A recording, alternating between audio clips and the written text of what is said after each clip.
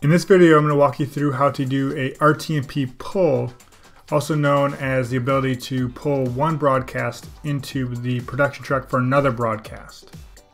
So in the end, what, we, what we'll be able to do is be streaming on broadcast A, like we can see here, and we're going to pull in broadcast B as a camera source so we can switch between the two broadcasts, or more importantly, we can do a something like a live look from broadcast A into broadcast B, which could be at a whole nother location.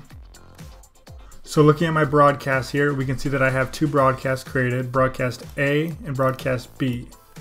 I'm going to pull broadcast B into broadcast A. So what I need to first do is go to broadcast B and go to the edit button. And you can do that on the broadcast grid or on the broadcast page where I just was. So as I scroll down, I'm going to go to syndication. And I'm going to do an add RTMP pull endpoint. Once I've added the RTMP pull endpoint, I'm going to go ahead and scroll down and hit save. Now if we scroll down to that same syndication section, we should have an RTMP address here. So what this is going to do is we're going to plug this RTMP address into production truck while we're streaming broadcast A, and it's going to pull the broadcast that broadcast B is doing into production truck. Now one very important note is that broadcast B has to be live before you can pull it into production truck. So I'm going to switch over to broadcast B in that production truck on a separate computer.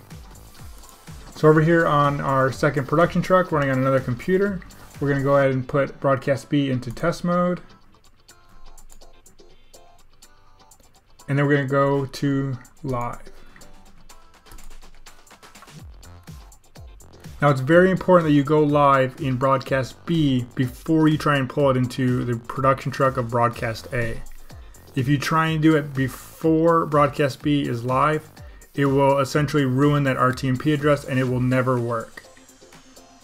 So if you do try and plug in the RTMP address before going live in broadcast B, you actually have to go back into vCloud and create a new RTMP pull endpoint and use that new RTMP address to work. So we are live at broadcast B. So we're going to go ahead and copy this RTMP address. And we're going to switch back to production truck for broadcast A. And in production truck, we are going to go up to our preference window under camera B, we're going to go to network device. And we will paste in our RTMP information there from broadcast B and hit add. And now we get a little window that says that it has been successful. If you if something is wrong, if the RTMP address is incorrect, you're missing a piece, or like I said earlier, if you try and do it before broadcast B is isn't live, it's not live and you try and do it, you will get an error message here but it looks like we're all good. So we're gonna go ahead and hit okay. And now you can see, of course, that up on the top, we have broadcast B uh, streaming live from that other broadcast. So anything that's done in broadcast B will show up here, including overlays, video clips, instant replays, everything will show up just as it is being done in production truck there will show up into this production truck so we can do something like a live cut to that broadcast and you can switch back and forth just like it's a normal camera. You may see some flickering up in the preview window, but that will not affect the output of your broadcast at all. As you can see, we don't have any flickering over on the right side. So just to be clear on what's happening here, the broadcast B broadcast is being streamed out just like normal.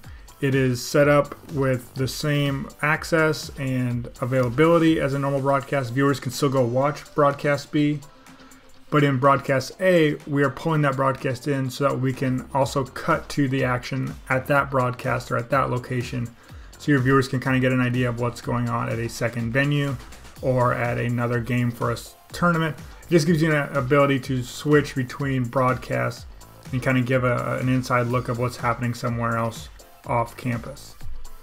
The setup for this is obviously very easy, just creating the RTMP address and plugging it into production truck.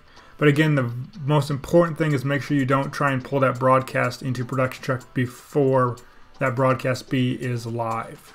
Broadcast A does not have to be live when you do it, but broadcast B must be live. And trying to do it too early will ruin the RTMP address and you'll have to create a new one.